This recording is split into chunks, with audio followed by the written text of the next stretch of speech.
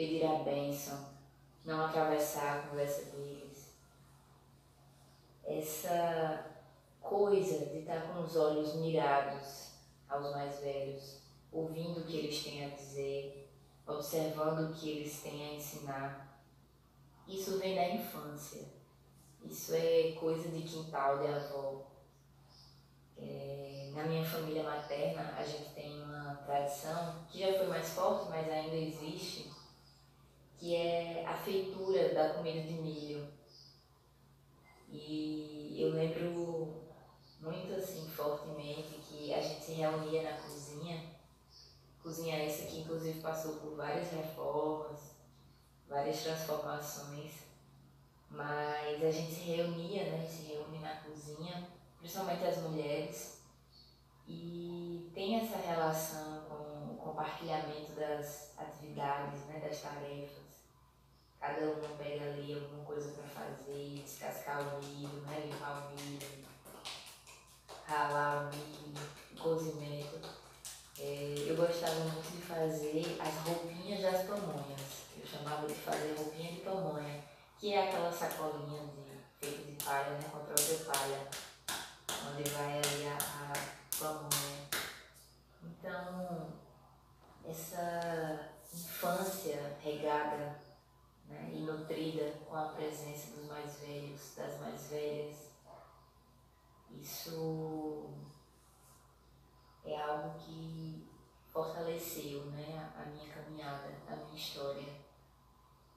E tem uma coisa que eu parei para observar ao longo do tempo, que é o quanto eu gosto de, por exemplo, observar minha mãe. Desde a infância eu já tinha isso, de ficar pertinho dela, o que ela estivesse fazendo, eu estava ali olhando os cóis dela olhando o que ela estava fazendo, mas para além de observar o que ela está fazendo, eu gosto de perceber como ela faz as coisas. O como, o modo, é o que me interessa.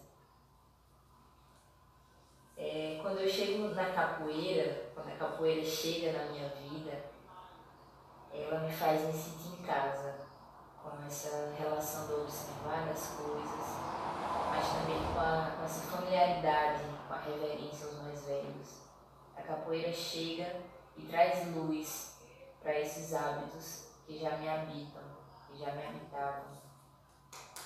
Mas também chega trazendo a encruzilhada do corpo. É no corpo, pelo corpo, em que se dá o movimento dessa arte, em que se dá a poética e é aí que a capoeira me leva de volta para dentro. Me leva para o meu próprio interior, para minha história e também a trajetória dos meus ancestrais. A capoeira, ela me trouxe um firmamento. Ela me mostrou que nada é por acaso e que no meu caminhar não tem nenhuma ponta solta. Tudo está conectado. A capoeira me levou para a dança, que me levou de volta para a capoeira e me espalhou dentro de mim mesma. Me levou para fora, para a curiosidade. A capoeira e a dança intensificaram a curiosidade dentro de mim. E o primeiro assunto é sobre mim mesma. Essa é a minha encruzilhada. Mas aí você pergunta o que é capoeira, né? Para mim, é a força mãe que reúne os elementos que tem para fazer acontecer a alquimia da resiliência. A capoeira é nome de mato, né? Mas não é qualquer mato. É mato antigo, guardado no solo, semeado por não sei quem. Mas que surgiu quando a gente achava que tudo estava perdido e surge quando a gente acha que não tem mais nada para dar. A capoeira tem ciência, mas também tem dicionário, já dizia seu Pastinha.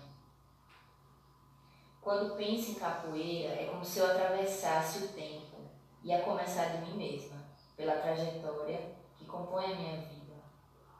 Eu, semente oriunda de raízes que vieram antes de mim e que me abriram caminhos para que eu estivesse hoje aqui.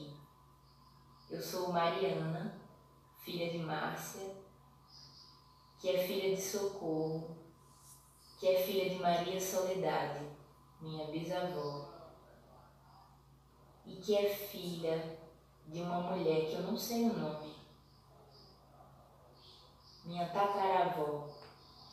Tudo que a gente sabe sobre ela, tudo que eu sei sobre ela, é que ela foi cercada por cachorros no mato e capturada.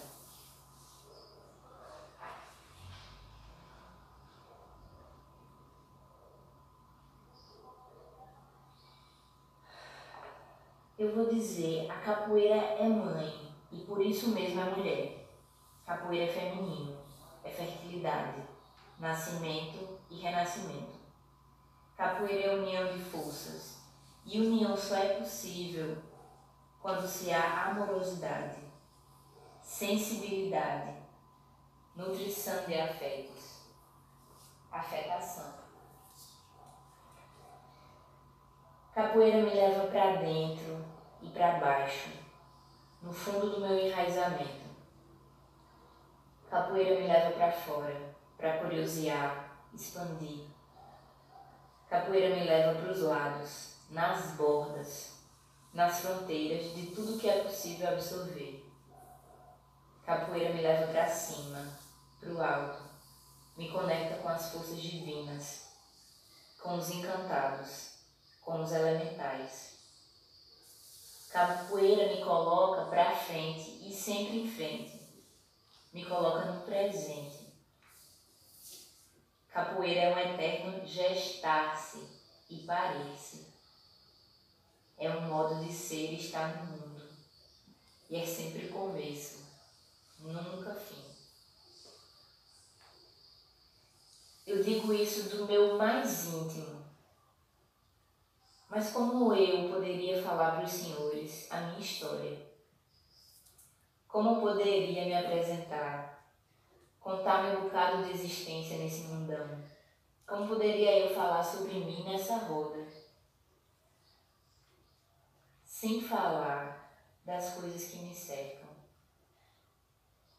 Hoje, não mais cachorros,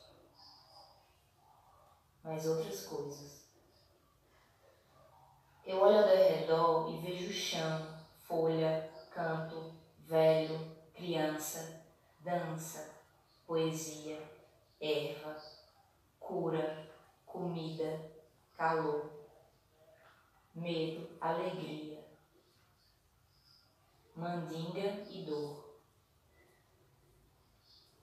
Eu falo é dos fios das navalhas, do frio na estrada da caminhada ritmada e também do descompasso do coração, quando a alegria é tamanha ou quando o medo tem prontidão. Eu digo mesmo, é sobre a sinuosidade da pele no espaço-tempo. Falo dos contornos, dos trajetos, dos trejeitos, do jeito que o corpo dá. Quem diz isso, na verdade, é o corpo.